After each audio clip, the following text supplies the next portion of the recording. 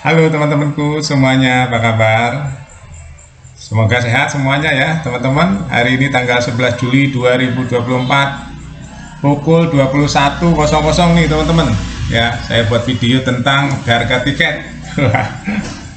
harga tiket eh, AFF 2024 sudah launching nih teman-teman dan bisa lihat ya saya bacakan ini atas nama sponsor ya teman-teman. Jadi nama-nama kursinya nama sponsor. Atau kategori kursinya kategori sponsor ini Gelora Bung Tomo ya yang ini. Gelora Bung Tomo yang pertama dari Mandiri, Premium West. Jadi bagian barat dari Mandiri Premium ya. Jadi sponsornya Mandiri ya. Kursi yang di atas namakan Mandiri itu sponsornya Bank Mandiri teman-teman.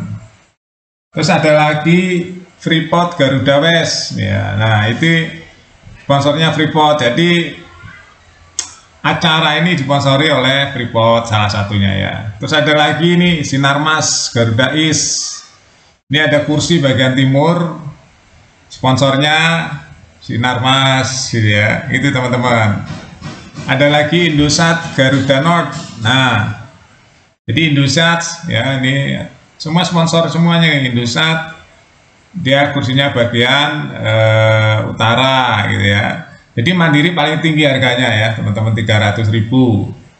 Report 150 ribu ya report nih 150 ribu Sinarmas 150 ribu Indosat 100 ribu Astra Financial Garuda Sud jadi kursi sebagian selatan ya sponsornya Astra Financial 100.000.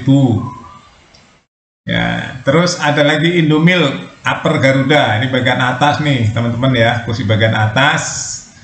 Sponsornya Indomil. Harganya 50.000. Ya, paling atas 50.000 teman-teman ya. Jadi ada 1 2 3 4, ada 4 harga paling tinggi 300.000 paling murah 50.000 oke nah ini jadwalnya ya teman-teman di grup A. Tanggal 17 Indonesia ketemu Filipina nih tanggal 20 Indonesia ketemu Kamboja. Tanggal 23 Indonesia ketemu Timur Leste. Ini grup A ya. Ini kemungkinan Indonesia akan menang ya teman-teman tiga pertandingan ini. Lawannya nggak terlalu berat ya. Jadi uh, diperkirakan Indonesia akan lolos teman-teman karena ini sistemnya sama ya. Dengan U16 kemarin uh, pimpinan klasemen grup akan lolos ditambah runner up terbaik. Di sini karena ada Australia kemungkinan Australia lagi nih mendominasi teman-teman ya. Kemungkinan tapi nggak tahu ya Indonesia apakah bisa mengatasi Australia nanti jika ketemu di semifinal atau di final ya atau ketemu siapa nih semifinalnya atau finalnya ketemu siapa ini? Apakah Indonesia akan seperti U16 kemarin eh, apa nasibnya? Hanya sampai ke semifinal dan juara tiga? Ataukah Indonesia akan jadi juara kali ini teman-teman?